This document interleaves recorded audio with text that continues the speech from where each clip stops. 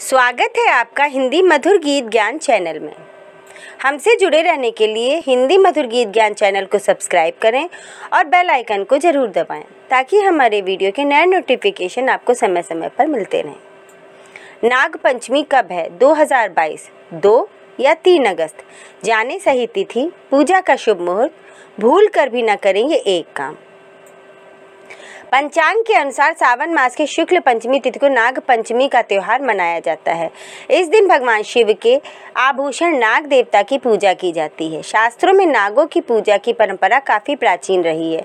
सावन का महीना भगवान शिव का प्रिय माह है। भगवान शिव नाग को अपने गले में धारण किए रहते हैं, जिस कारण सावन माह की नाग पंचमी बेहद खास मानी जाती है। इस दिन भगवान शिव और नागों की पूजा करने से घर में सुख समृद्धि आती है। आज हम आपको साल 2022 सावन माह नाग पंचमी पर्व की शुभ तिथि, पूजा का शुभ मुहूर्त, पूजा विधि, नियम। और इस दिन भगवान शिव व नाग देवता को प्रसन्न करने के लिए किए जाने वाले उपायों के बारे में बताएँगे। नाग पंचमी शुभ मुहूर्त 2022 साल 2022 में नाग पंचमी का त्यौहार अगस्त मंगलवार के दिन मनाया जाएगा। नाग पंचमी पूजा का शुभ मुहूर्त होगा 2 अगस्त, प्रातःकाल पाँच तैतालीस मिनट से प्रातःकाल आठ पच्चीस मिनट तक। पूजा की कुल अवधि दो घंटे बयालीस मिनट की हो, होगी। पंचमी तिथि प्रारंभ होगी दो अगस्त प्रातःकाल पाँच तेरह मिनट पर। पंचमी तिथि समाप्त होगी तीन अगस्त प्रातःकाल पाँच इकतालीस मिनट पर। नाग पंचमी पूजा विधि। धार्मिक मान्यता अनुसार नागपंचमी के दिन नागों की पूजा करने से जीवन के संकटों का नाश और मनवांछित फलों की प्राप्ति होती है।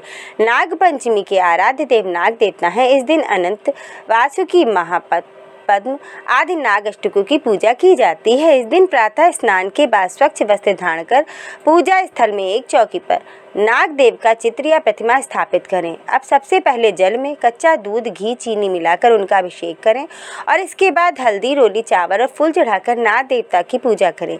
पूजा के बाद व्रत कथा पढ़कर आरती कर लें। नाग पंचमी नियम पुराणों के अनुसार नाग पंचमी के दिन का लाभ प्राप्त करने के लिए इस दिन भूमि न खोदें। नाग पंचमी पर नागों का दूध से अभिषेक करना चाहिए, ना कि उन्हें दूध पिलाना। जो व्यक्ति नाग पंचमी के दिन उपवास करता है, उसे विशेषकर सायंकाल के समय भूमि की खुदाई नहीं करनी चाहिए। नाग पंचमी के दिन धरती पर हल चलाना वर्जित होता है। इस दिन सुई धागे से किसी तरह की सिलाई आदि के कार्य भी नहीं करने चाहिए। नाग पंचमी के दिन धन समृद्धि पाने के लिए नाग देवताओं की पूजा की जाती है। मान्यता है कि नाग देवता धन की देवी माँ लक्ष्मी की रक्षा करते हैं। इस दिन दुर्गा पाठ करने से लाभ होता है। नाग पंचमी के दिन हो सके तो नागों के दर्शन करें। इस दिन नाग देवता को कच्चे दूध से अभिषेक करें। इससे कार्यों में सफलता प्राप्त होती है। नाग पंचमी विशेष उपाय। नाग पंचमी के दिन शिवलिंग का जलाभिषेक करने से मनवांछित फलों की प्राप्ति होती है।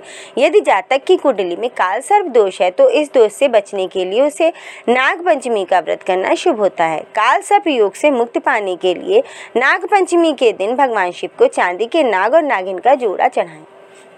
धन्यवाद।